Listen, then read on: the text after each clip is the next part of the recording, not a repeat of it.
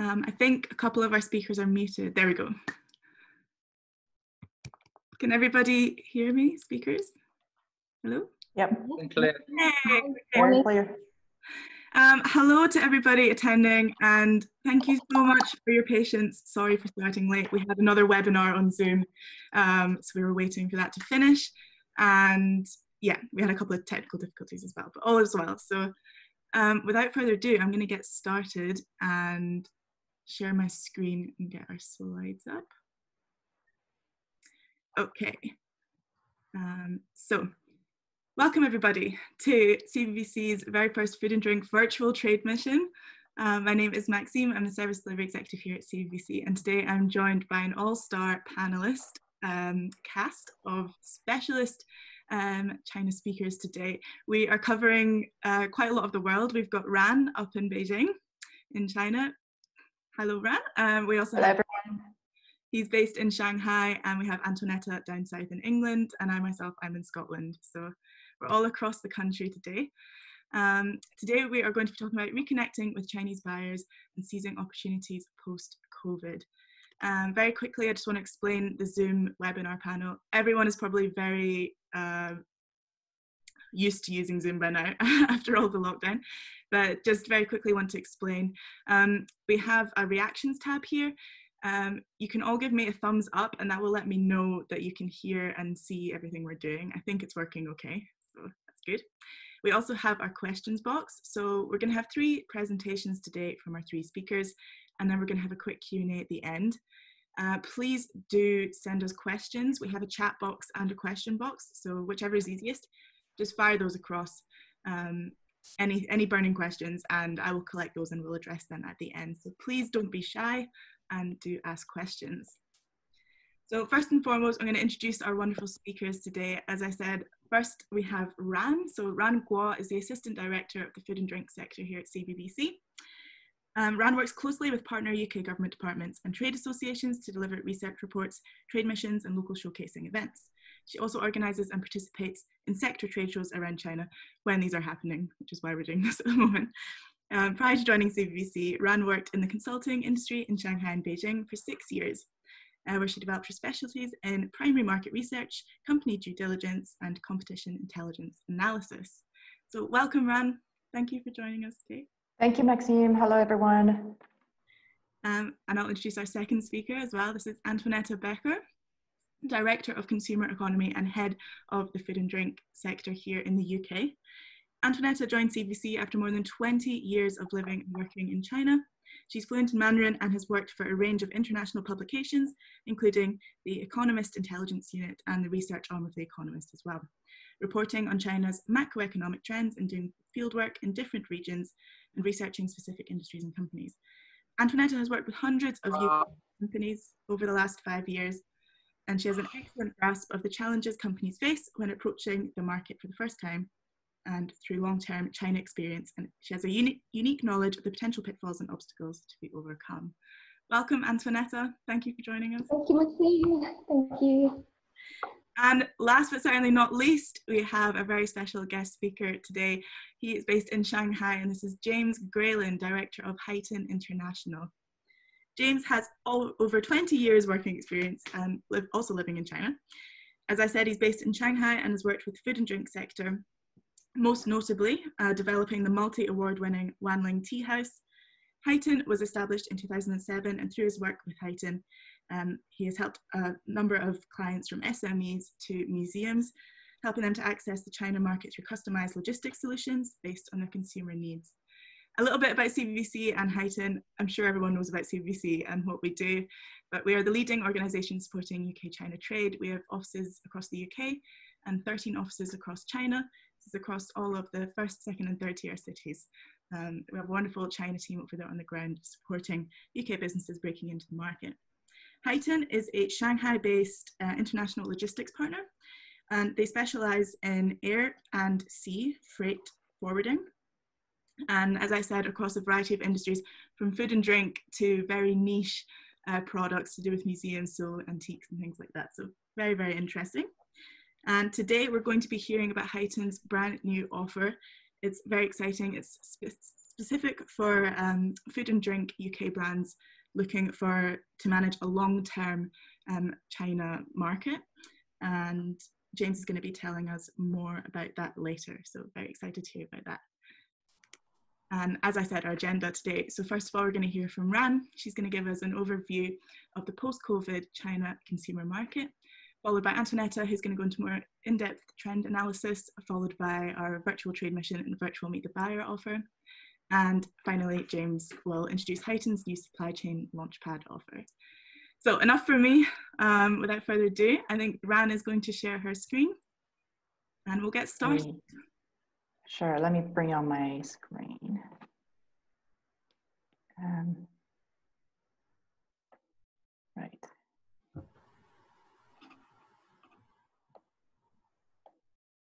Right.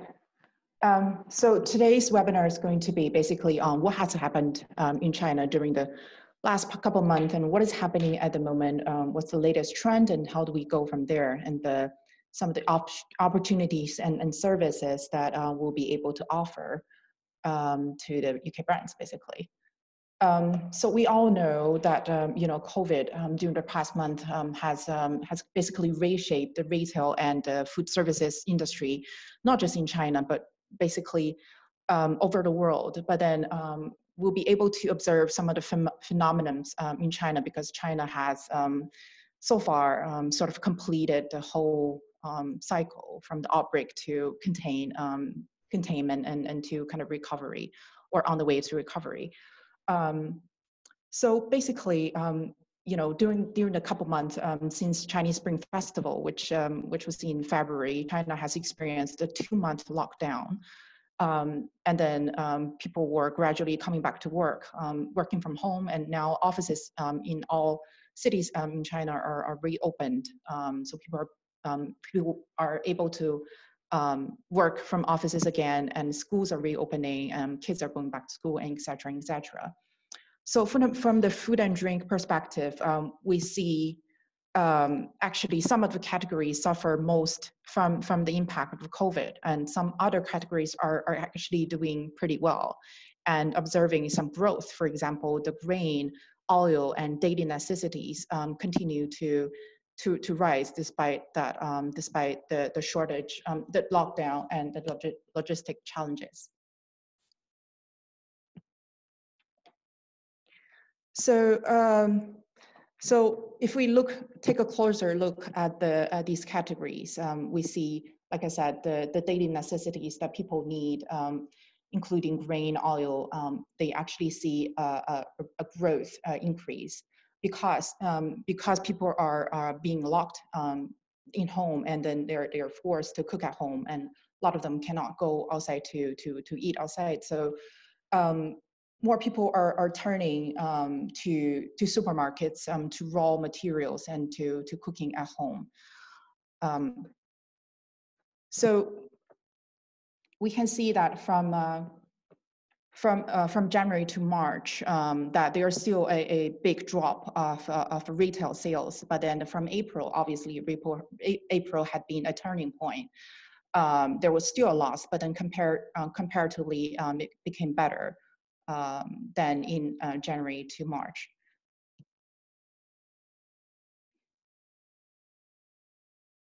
So, um, so in this session, we're also going to analyze some of the new trends um, that are actually not new trends. They were already there, but then they got kind of amplified um, due, due to COVID.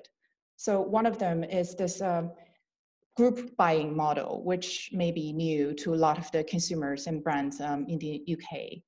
Um, so how it works is that, um, so the platform or the retailers or the brands will communicate directly to the end users through a WeChat group. So we'll talk about WeChat in the next slides um, and then to form a, a, consumer base and to offer discounts, um, promotions directly in that group, in the co consumer groups.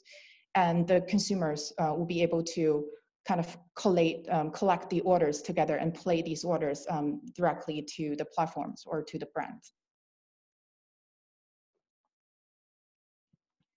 So for all of these to happen, the, the very important tool is WeChat. So I'm sure a lot of the, the audience today will be already on WeChat, but for those who are very new to China, new um, to, to WeChat, um, so here's an overview, kind of a glance of uh, what WeChat can do. WeChat is a, it's, it's very scary because it's too powerful. So one can essentially stay and spend the whole day um, without leaving WeChat, basically. Um, so it's a comprehensive um, app that kind of combines the, the, the functions of Twitter, uh, uh, of Facebook, and, and, and uh, of uh, WhatsApp. So on the communication side, it allows people to, to make calls, to match, message each other, to form a group, and to conduct group calls. But on the social side, so it, it allows people to interact with each other um, through WeChat Moment, um, and then to search people nearby. And then it also carries a very important function, which, which is the WeChat Pay. So um, WeChat Pay, you through WeChat Pay, you'll be able to kind of order and pay for your meals at the restaurant. You'll be able to transfer money to your friends and families. Um, you'll be able to order taxi and pay for taxis. And uh, on the commercial side, also it kind of integrates a different, many different kinds of uh, mini apps on WeChat. Um, so it's a quite a powerful tool and it can be commercialized in, in many different ways.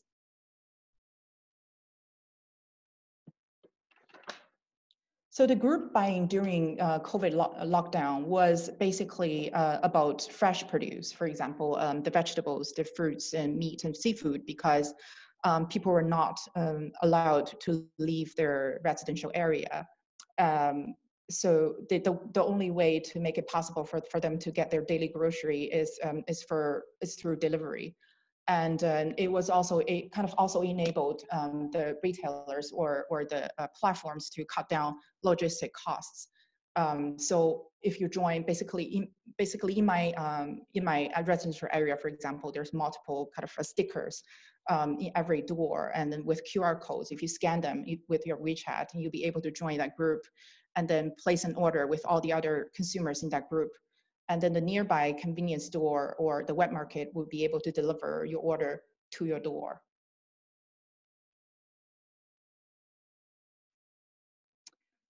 So what, one of the, the um, the most um, kind of featured um, app um, that that um, is a result of the group buying model in China is the is a Pinduoduo.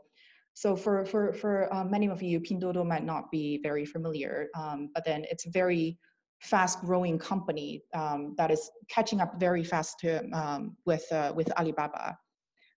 so it was established only in 2015, but then by the year of 2018, it was already listed in Nasdaq. so the the idea uh, behind Pinduoduo was really group buying. So everything sold on Pinduoduo has a discounted price. And if you click on the product you would like to buy, it shows two prices. One of them is the normal price and the other one is the discounted price.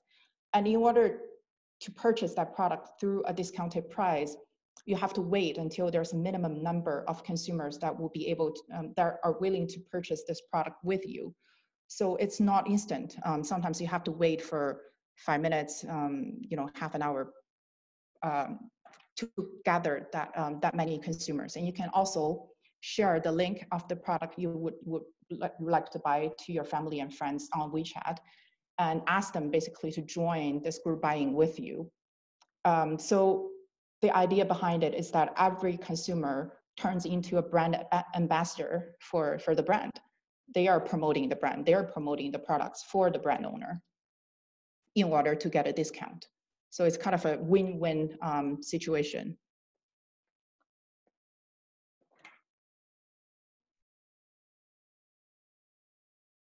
Another very hot uh, phenomenon um, in today's Chinese um, consumer market is the, the, the live streaming.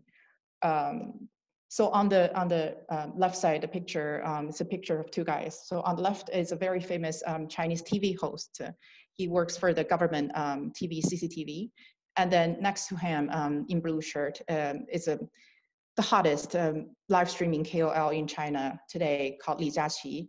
So this featured a session they did together to kind of promote uh, products from Hubei to kind of help boost local economy after um, after COVID. So just some data to share with everyone.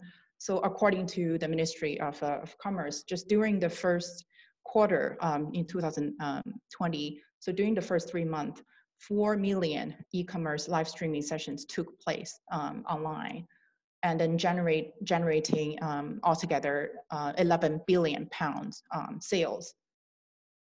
And uh, you know, a, a, a KOL like Li Jiaqi, a session of his can usually attract uh, around 13 million users. So it's quite, um, you know, quite impressive.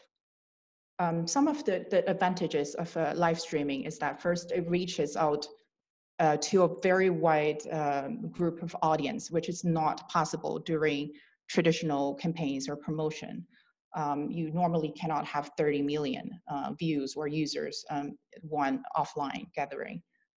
And then um, it generates feedback very quickly because usually at the, you know, the, the software or app um, where you use for live streaming, um, consumers will be able to interact with the live streamer, with the KOLs instantly through messaging. So you'll be able to see how they think of the brand, how they think of the presentation, how they think of the packaging instantly, very quickly.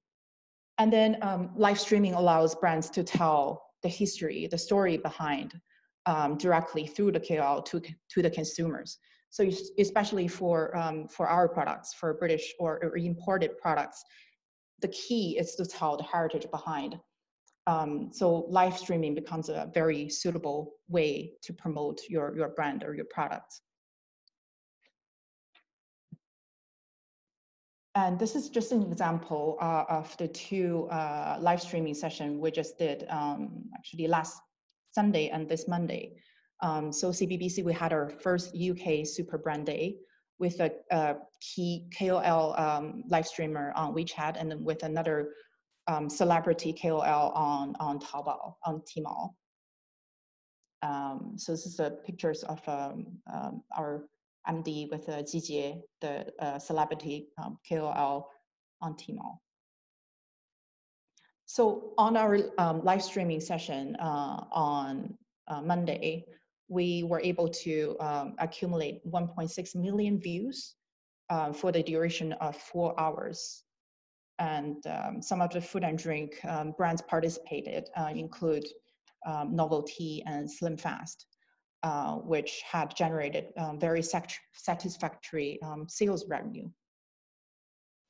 So this is something I think uh, we can offer to brands either either you're new to China or, or you're already in China is to kind of expand your, your brand awareness and to reach the end consumers um, through online promotions and activities. So uh, what has happened um, in the import food and drink market um, during the couple uh, past couple months? So just some data uh, on the different categories, uh, the growth um, or decrease uh, from January to April. Um, so what has um, what, ha what has um, what has increased and what has dropped? Uh, we can see there some some of the categories had really um, been affected by COVID. Um, these categories include um, uh, the spirits, unfortunately. it was due mostly due to the closure of uh, offline uh, food services, the bars, the, the clubs. but it was also due to the lockdown or, or the slowdown of logistics and uh, the fact that a lot of people uh, in the UK or, or overseas um, are staying at home or working from home as well. But in some of the market, um, some of the categories had still observed strong growth, um, including meat and, and, and dairy, um, because this is um, this is something that um, were already kind of in, in uh, huge demand before COVID and also because of people's you know health consciousness um, developed during COVID, and that a lot of people would prefer to intake more protein, um, healthy diet. And we can see that um, seafood here has um, also been affected uh, slightly. So according to some of our interviews with the seafood importers in China, um, this was due to, first of all, the, the logistics and uh, um, unstable supply and the increase of, uh, of uh, logistic costs. But then it was also due to um, people's kind of lack of uh, willingness to to purchase um, more expensive imported seafood products because they're worries about um, you know financial um, uncertainties. So they will switch to cheaper domestic um, substitutes. And also because of COVID, um, uh, because the, the lockdown of, uh, of a lot, lot of retail or food services channels, it resulted in um, the oversaturation of uh, Chinese um, uh, lakes, ponds, rivers. So the Chinese government had this um, need to kind of help clear stock, stocks for Chinese um, seafood farmers as well.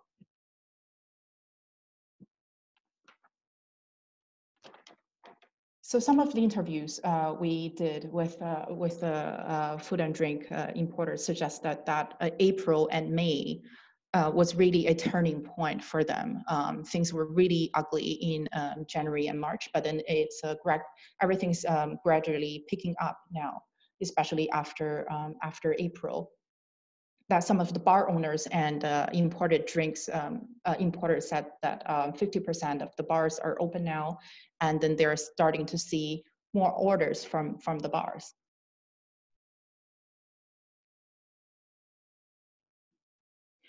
And some of um, some of the interesting um, comparison, the observations uh, of uh, retailers and food services this kind of echoes um, our observation in the beginning that retailers are actually not that much affected by, by COVID um, because that a lot of people need to stay at home and turn to you know home cooking. Um, their demand uh, of uh, products from retailers are um, is actually increasing, but then food services really suffers badly from from the lockdown. Um, so from January to March, um, their their year to year on year uh, growth has dropped by 44 um, percent. And um, you know it recovered slightly uh, in April, but then still the drop is quite um, quite big.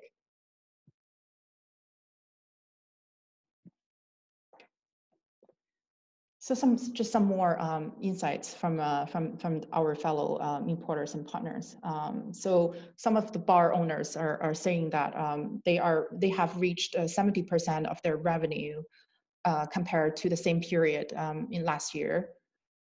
Um, and you know they're especially on, on gin, uh, which is a a new category for them. They're importing or bringing in more uh, gin brands to China, uh, but not not necessarily from the UK, from from the US or or from Europe. I think this is a result of uh, the continuous education of uh, a lot of the like in-market gin uh, companies, as well as as a you know the Department for International Trade and and trade bodies like um, like ourselves. And um, you know, one importer has said um, that whiskey uh, price um, has kind of um, uh, obviously um, due to the the lack of uh, supply or manpower in overseas. But retailers, on the other hand, are, are quite uh, optimistic. Um, we have uh, interviewed uh, Jenny Lou's in Beijing, City Supers in Shanghai, who said that they have um, not seen very huge impact on their offline business. Um, um basic food stuff like flour or pasta or meat are still in very strong demand. So some of some of the new uh, demand generated from from COVID, um, as uh, we can all think of, obviously, um, people are turning to more healthy products. So we have um, interviewed some confectionery or, or sweets uh, importers in, in China who had said um, their business had been affected a lot because people's taste changed um, because of COVID. Um, they're becoming more health conscious now um, not so much into um, high calories, um, high, high um, fat products, but more into uh, products with uh, health benefits or, or low uh, calorie diet. And uh, a lot of the importers are looking for uh, more creative um, products or products with uh, more unique selling points. This is also because um, that online distribution channels um, has raised so much and becomes one of the major um, distribution channels that importers or distributors cannot overlook. And in terms to catch those eyes um, um, from, from online and, and um, to attract young consumers, um, that products um, really have to come up with very strong, better packaging, better stories, more unique stories to tell.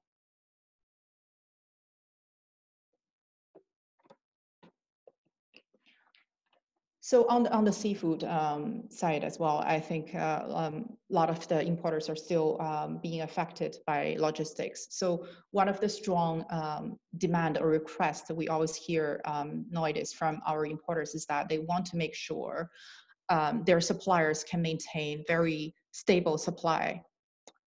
so I think this is something that that that we need to wait for for the overseas uh, suppliers to to recover um, for the UK to get back on track.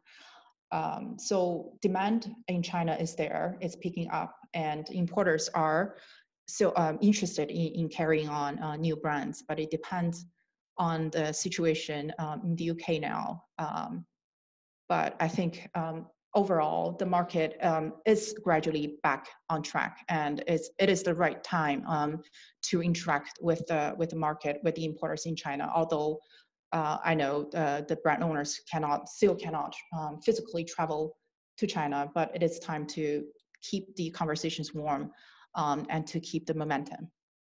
Um, so that's all I have to share um, in terms of what has happened uh, in China. I think Antonetta next is going to talk about the trends um, and the uh, opportunities that we can catch in the future.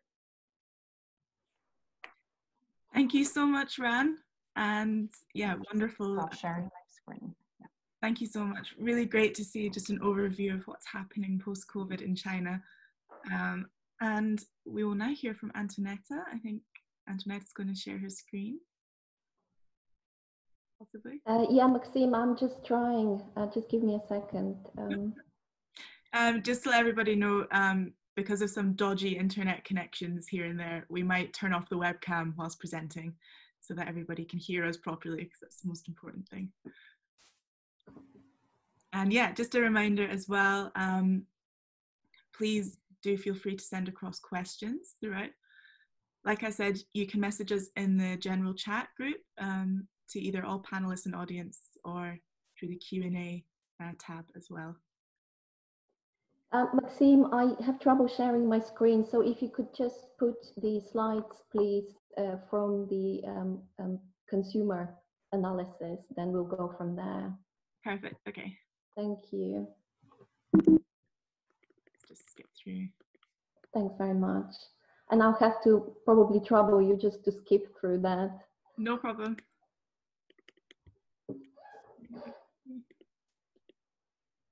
Here we go. Wonderful. Thank you very much.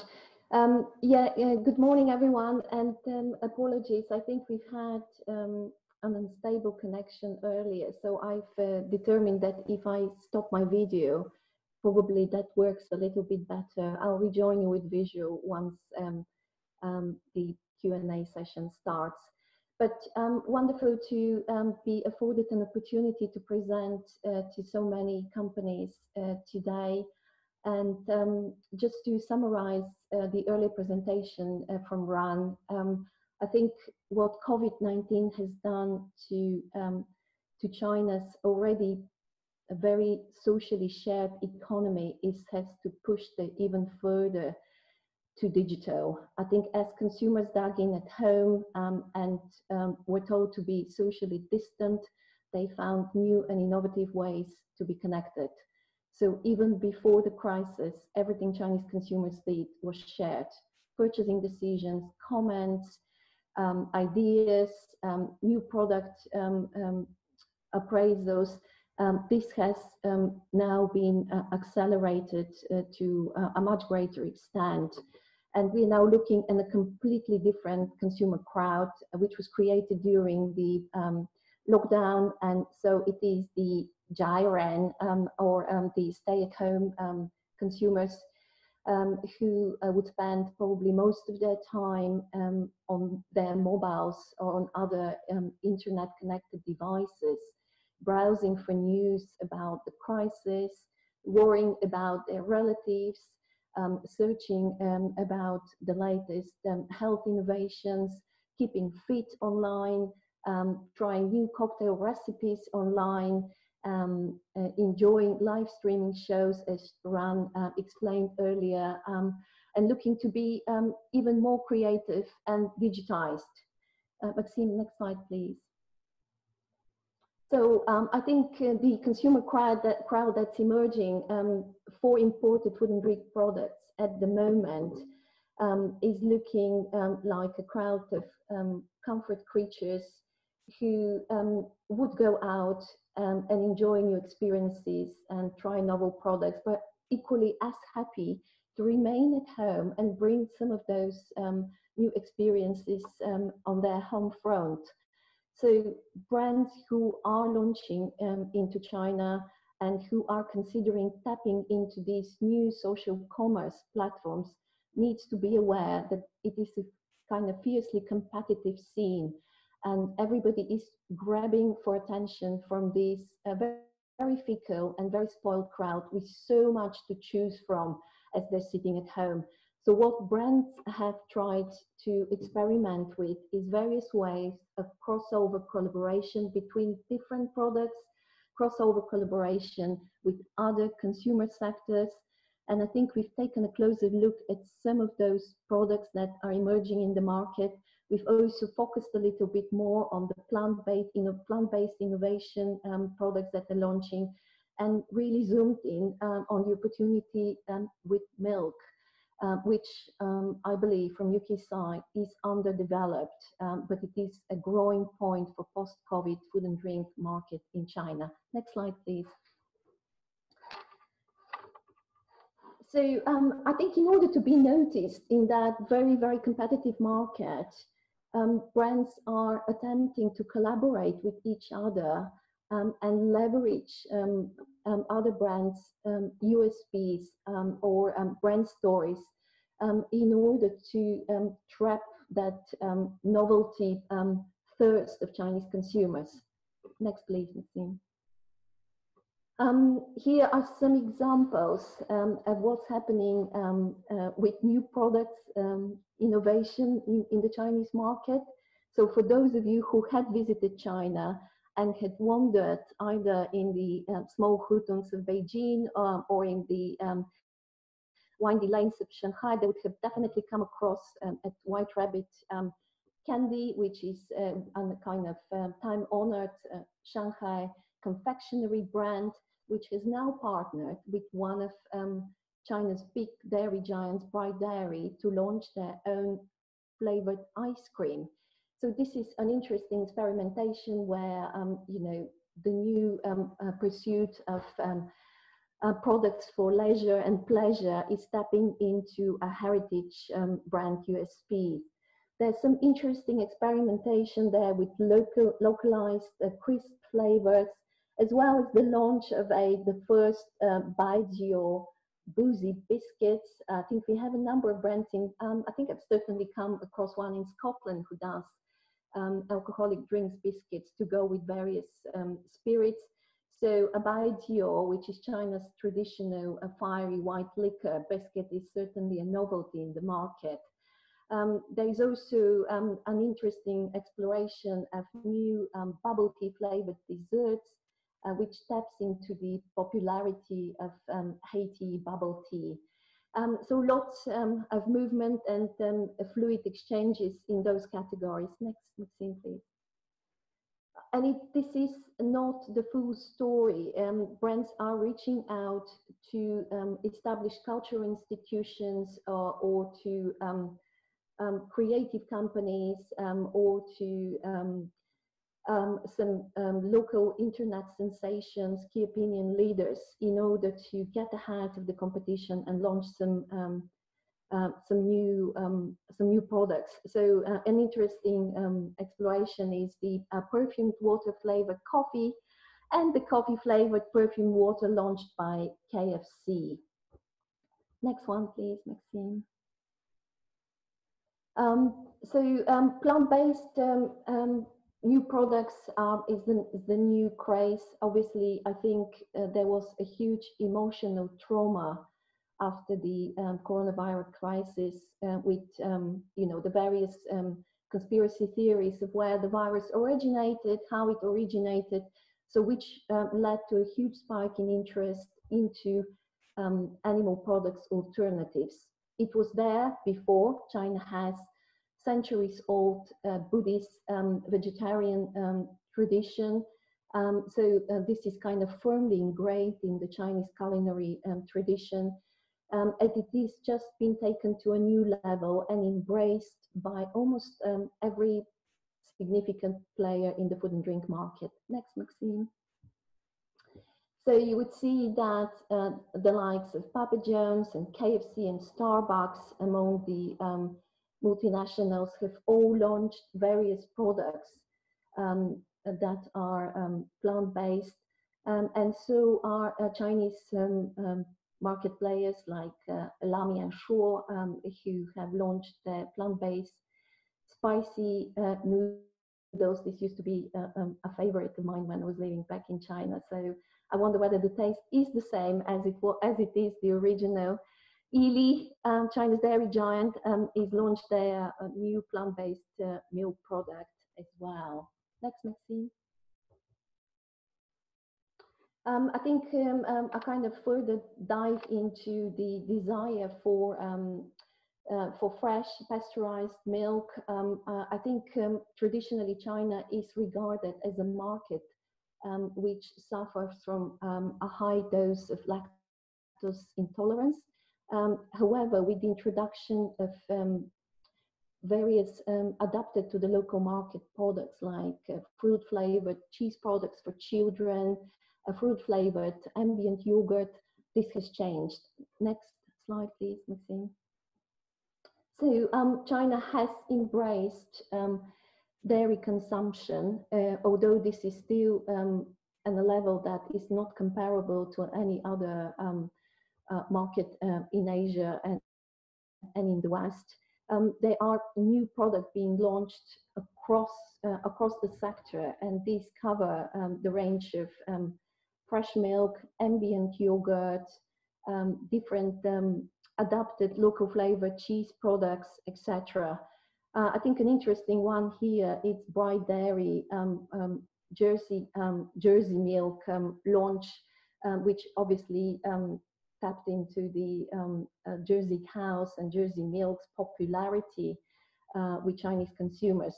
all of the uh, big players like Coca-Cola are looking to partner with uh, some of China's um, dairy um, companies to launch crossover products uh, and actually grab some of that um, uh, market share. It's it's a very hot trend following uh, following the crisis. And as Ran rightly pointed out, uh, you know, consumers tried to stay at home as much as possible and cook their own meals. However, their desire for fresh produce, for for some anything that could uh, prove fresh credentials was unsatiable, and I don't think it is likely to go away very easily after the crisis passed. Next, Maxime. Yeah, I think just some um, um, uh, some insights into the um, um the size of the market. I still there is still uh, quite a big room for growth. I think liquid milk uh, sold on Alibaba's channels uh, grew 98% um, in April this year. Um, and I think the most popular products were, um, you know, the ambient milk, ambient yogurt, um, and um, um, various other experimentation in the frozen category with ice cream. funnily enough, in China, from regulatory point of view, ice cream is not considered dairy. but there has been certainly some very interesting uh, launches in the market. Next, please. A little bit more um, into the um, into this uh, growing trend. Um, we don't have um, um, much present in that uh, particular market segment. Hence, I think um, uh, Ran and the team took a special pain to dig out a little bit more into what's happening in the market into into this segment. We are really keen to work with companies to grow that uh, as much as possible. Next one, please. And I think I'm conscious of time. We still have um, um, another fascinating speaker. So um, just wanted to draw your attention that um, as we're bringing you some updates from the market, um, we would like you to take um, the opportunity of the market's early comeback compared to some, some of the other international markets and reconnect with your former contacts and, some, and, and look to uh, identify some new ones. Uh, we are looking to um, recruit for virtual Meet the Food and Drink China buyer to take place in mid-July, on the 15th of July. Uh, we will work with a group of 15 UK brands who will have the opportunity to um, meet five Chinese buyers on the day. Um, the identification of the Chinese buyers will be based on the pool of the recruited UK companies. So um, I think we're looking to bring some of the popular categories in the market at the moment, uh, snacks, dairy, spirits, um, any non-alcoholic and interesting drinks. Um, we have all of the details of the virtual meet the buyer on our website, um, but the easiest one uh, is to, um, if you wanted to have more details or further discussion, is to email either Maxime, myself, or Ran, and we'll have a follow-up discussion with yourself. Next one, Maxime. And um, um, the other thing I wanted to share with you, we have some exciting new um, service offers that are launching in the China market. Um, as you know, we are a uh, membership organization with um, over 60 years presence in the market. So our membership business network in China and the UK includes companies um, large and small across various sectors.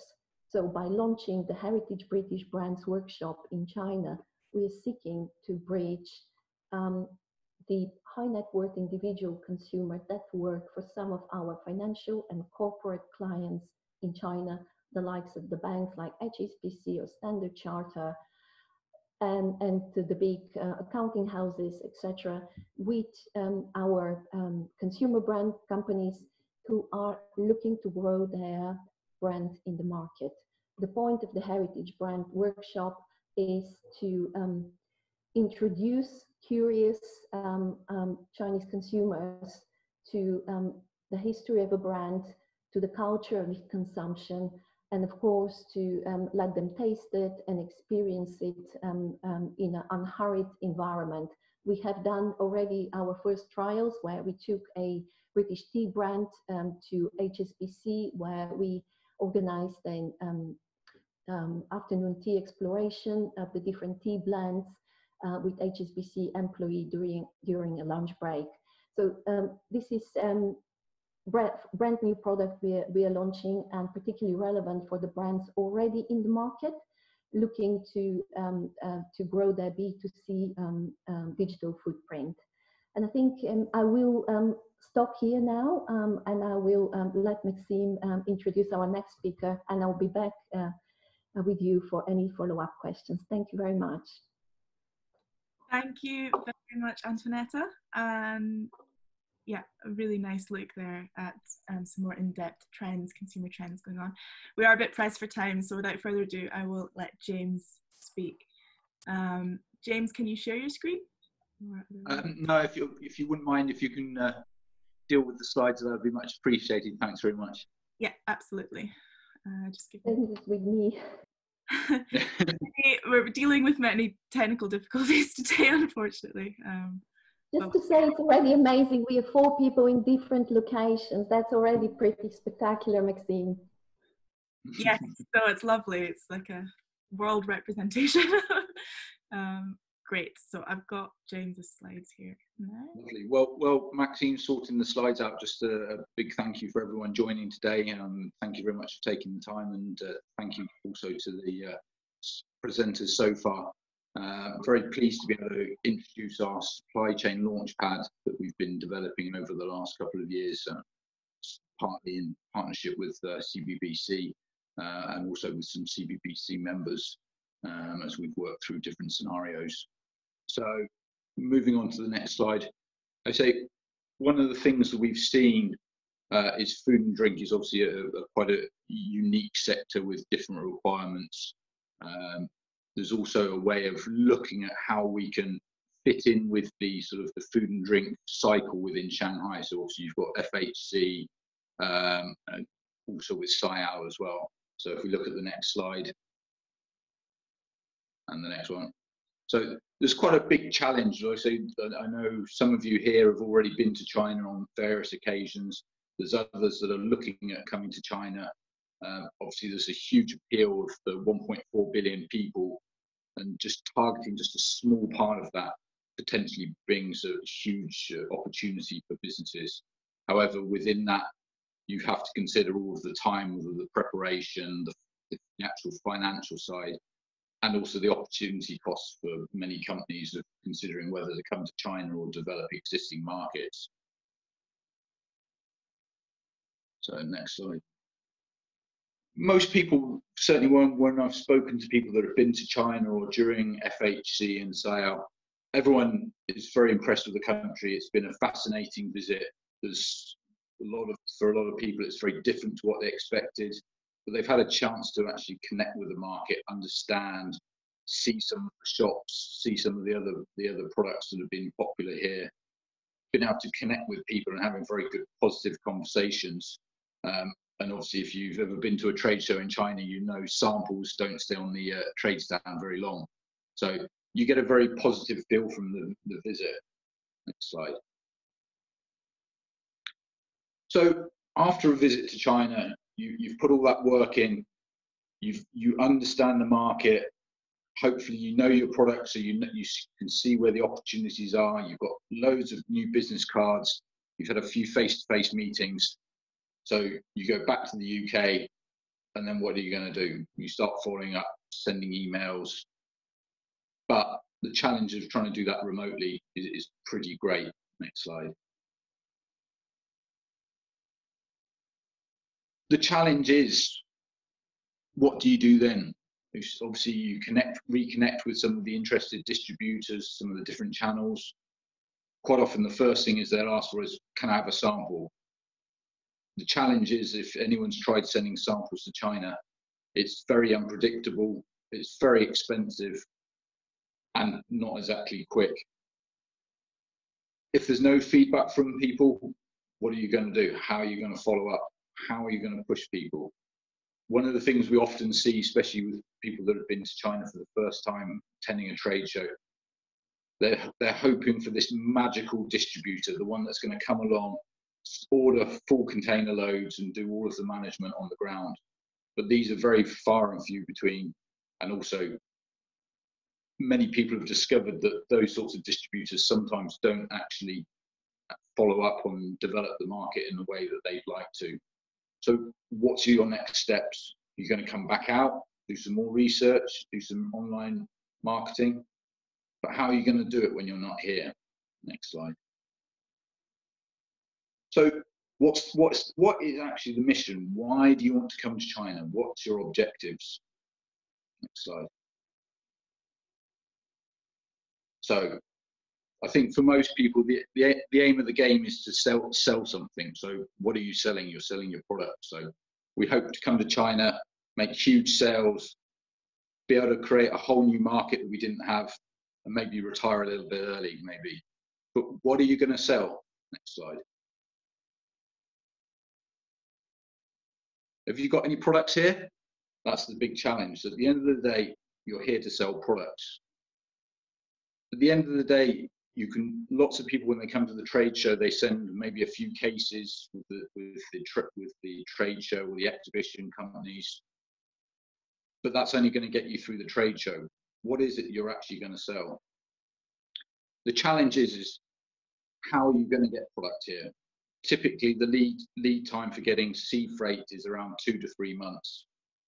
Question is those people that you've just met had a great discussion with on the show stand are they going to wait three months for a product.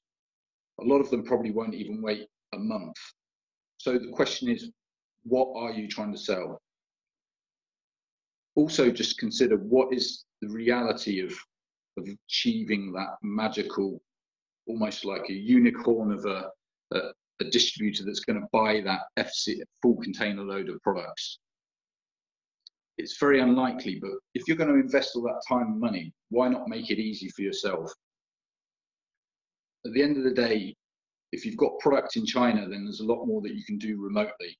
But if you're just going to go back to the UK and think about your next steps, you almost have to then wait for the next cycle. Next slide. I think everyone here who's who's been working in food and drink for a long time is whatever market you're in, whether you're in the UK, whether you're in Europe, the US, you have to be committed. It's not a matter of coming and doing one visit and then basically creating the market. It's about repetition, coming back, being prepared, imagining what you want to do in the next steps. And at the end of the day, if you, where there's a will, there's a way. Next, uh, next slide.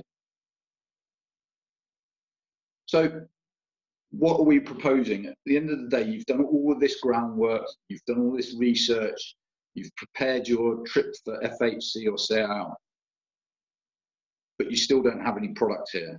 So why don't we make it easy for you?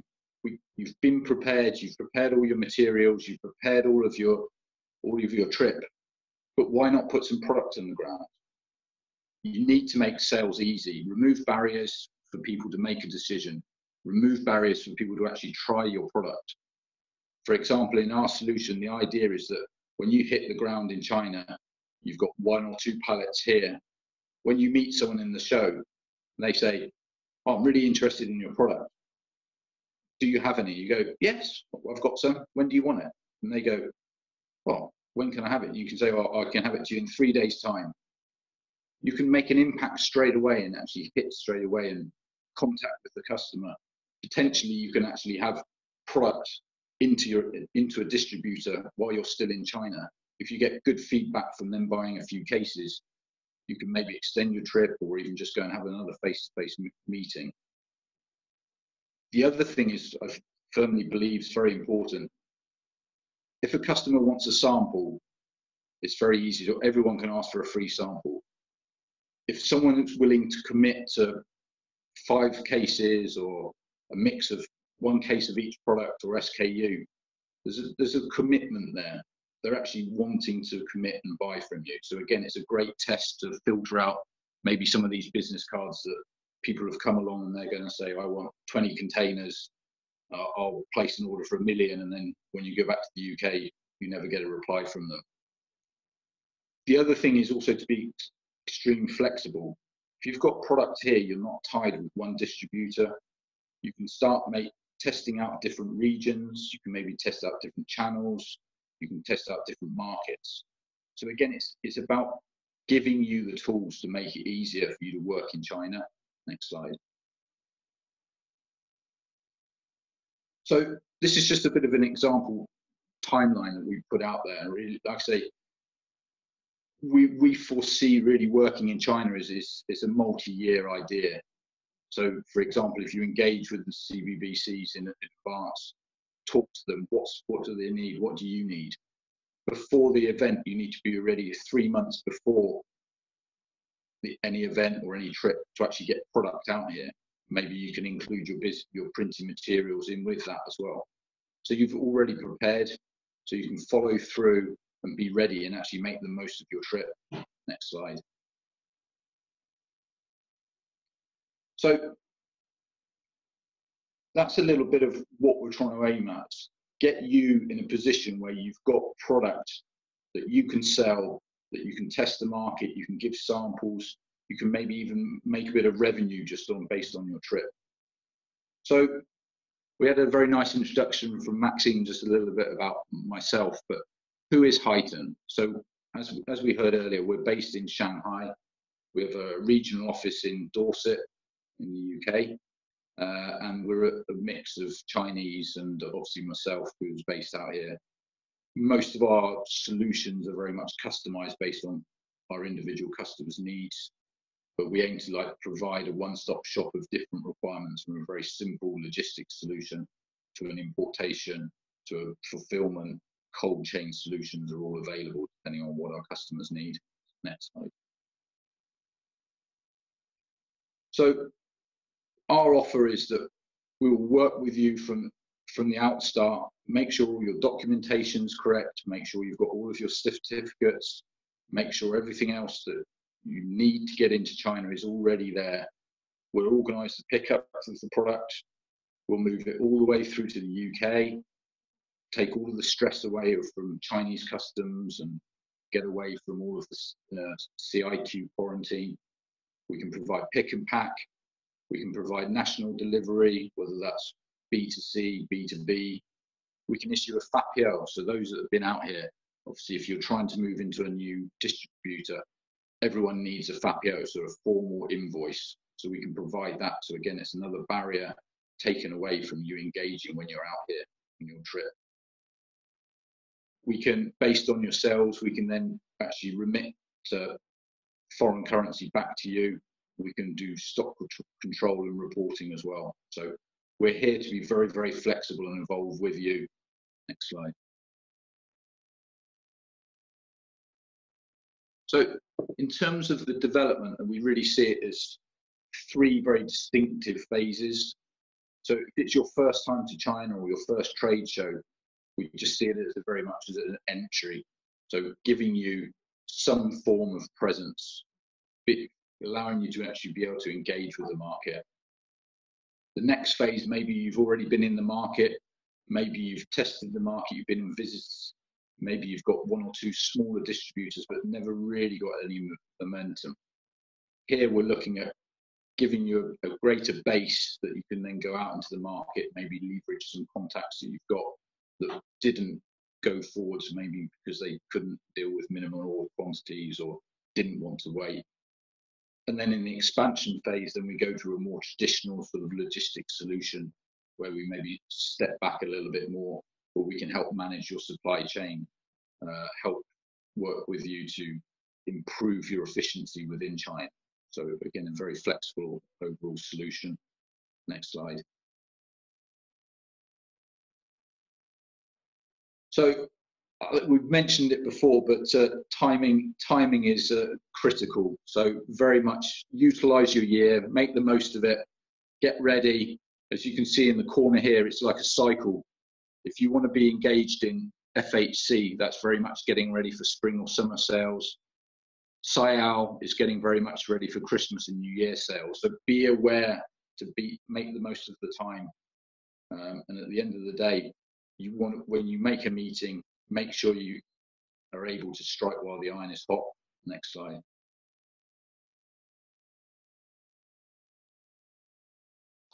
So I'll let you have a look at this. Please come back to us either through CBBCs or to myself or ask questions in the forum. But this is a bit of an idea. We've tried to keep it as simple as possible based on pallet volumes uh, and then based on storage. So again, take, take, take a look at the presentation later on and then come back with any queries. Next slide. So again, we want to try and make this as clear and as simple for you. No surprises in, in terms of what your costing is. It's all very clear and upfront. It gives, it makes it much more cost effective than trying to ship samples, but hopefully it puts you in a position where you can actually engage, make sales, and actually get some return on your investment from your first trip, as well as having that stock on the ground that you can then follow up with distributors when you're back in the UK. You can use some of the services from CBBC to engage with new channels or new customers, and you can still reply to them that you've got product in China and you can deliver it to them within a few days. Next slide. For those that are looking at expanding, maybe those that we've worked with, um, those that are already engaged in the in the market already, then the development phase solution may be a great solution there. Uh, just a bit more flexibility in terms of payment. Next slide. So Chris uh, is my colleague who's international sales manager. He heads up our specialist uh, segment on wine and beer. Uh, they we actually have a partnership there where we actually have an online platform that can push through volumes as well. So Chris is our specialist in that market. These are my details. If anyone wants to connect, please do. My WeChat number is just my Chinese mobile. Um, and obviously take a chance to go and visit our website. So uh, any questions, please let us know. Um, thank you very much for all your time. Thank you very, very much, James. And um, I've had to just stop the share for a moment uh, so that we can read some of the questions that we have in our Q&A box. But I will put up um, James, Ran's and Antonetta's uh, contact details just in a moment.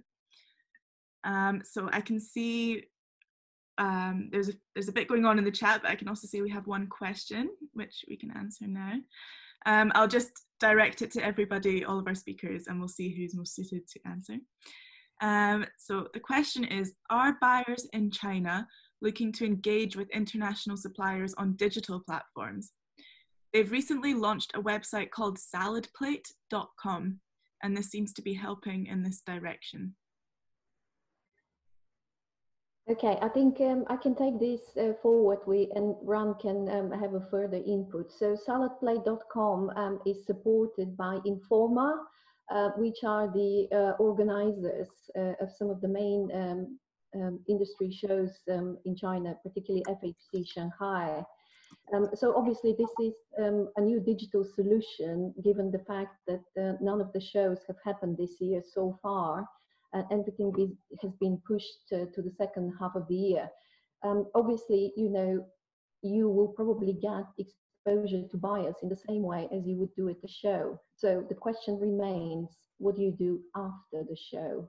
So um, I have not uh, tried uh, Salad Plate yet, um, but obviously here the um, the key is with uh, what we're trying to kind of emphasize to companies is be prepared, have a long-term plan, have a business development plan um, as to how you're going to tap into the different purchasing channels before you actually get on any um, virtual meet the buyer or on any digital platform to meet your potential Chinese partners and be prepared as to how you follow up with them.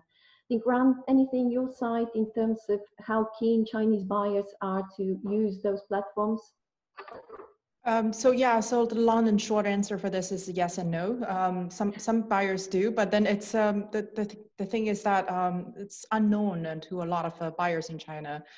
Um, and then there's so many of it. Um, and then not all the importers um, speak so good english. And then there's this great firewall um, that's there. So it makes it difficult for them to just uh, you know um, proactively um, seek and use these uh, these trade uh, or platforms or, or apps um, so the, the, the, more traditional and the more uh, widely used uh, routes are still the trade shows, um, the trade bodies like ourselves and DIT, uh, you know, face-to-face uh, meetings or events.